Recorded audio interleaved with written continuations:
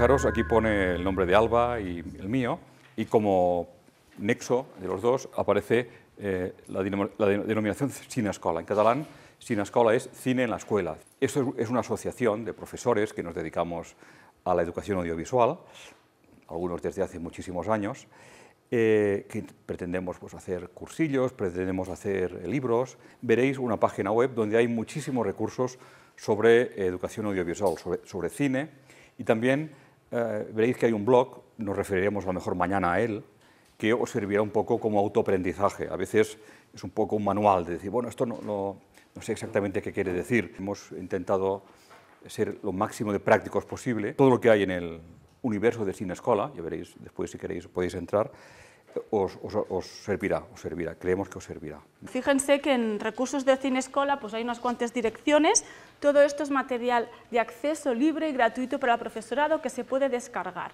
está en catalán, pero con los traductores es un momento copiar, pegar. Hay mucha gente de España también que lo utiliza, no tenemos presupuesto para poder traducir más cosas.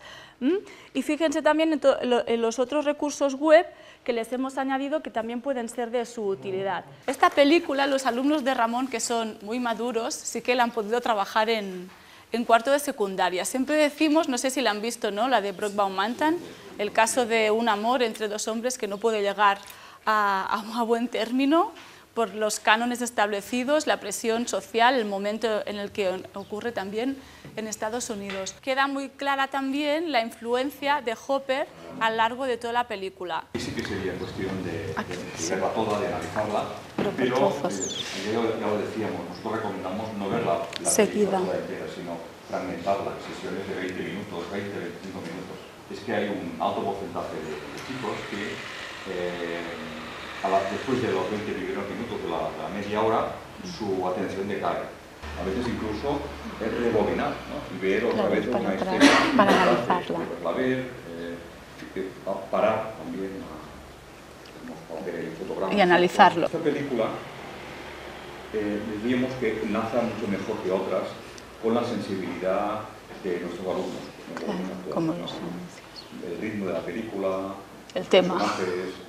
los subtemas que van apareciendo, el gran caudal de valores que tiene esta película para trabajarlo, el listado de, eh, diríamos?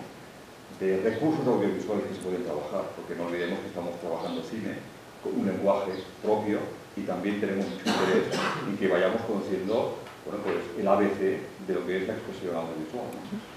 La presión social demoniza la, homosexualidad y les impide ser, felices, les angustiará toda su vida.